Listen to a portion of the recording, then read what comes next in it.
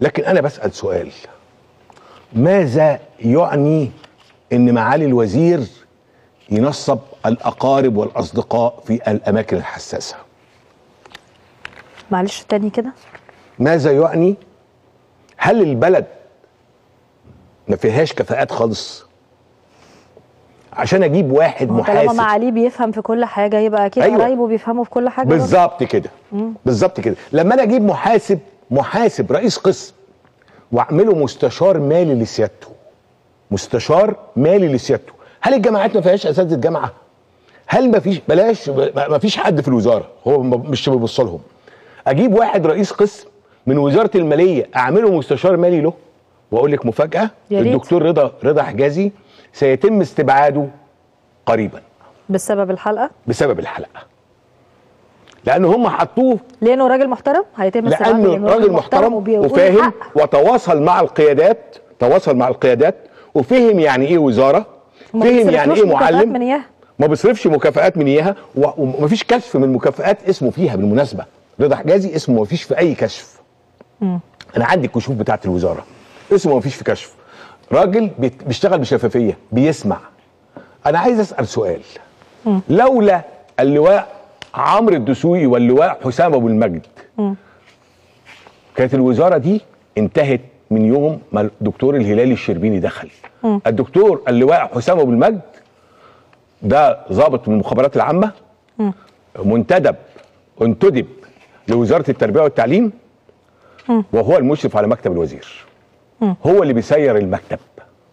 هو اللي بيسير المكتب. ولولا هو ورؤيته.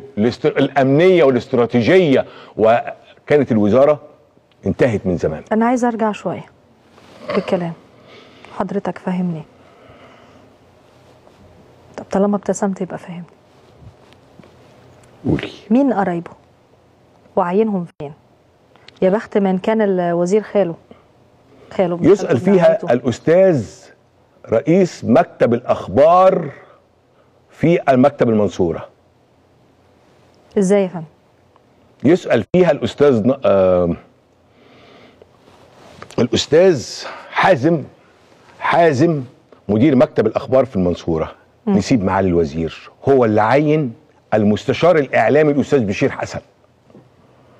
إيه ده؟ هو المستشار الإعلامي آه، أستاذ بشير حسن في صلة للوزير أيوة.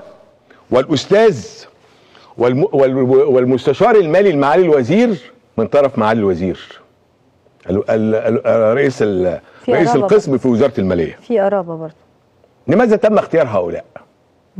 هل الوزارة ما كفيهاش كفاءات؟